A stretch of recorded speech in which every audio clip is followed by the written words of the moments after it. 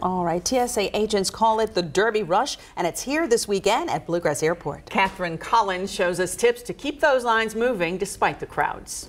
Have those and pepper sprays of different varieties, stun guns. TSA agent Lorraine Scorich says it's items like this you don't want to have on you when you make your way through the security line. Uh, someone, one of our officers, found this pretty large uh, switchblade. All of these have been left by travelers here at the Bluegrass Airport as they rush to make their flight. Whenever we get a prohibited item at the checkpoint, in effect, it's really another person in front front of you in line. Spokesman Mark Howell says this weekend will be one of the busiest of the year at Bluegrass Airport as travelers fly in and out for the Kentucky Derby.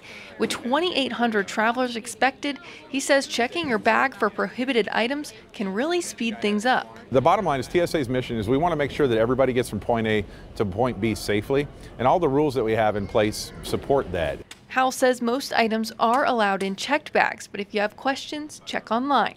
Covering the news in Lexington, Catherine Collins, LEX 18 News.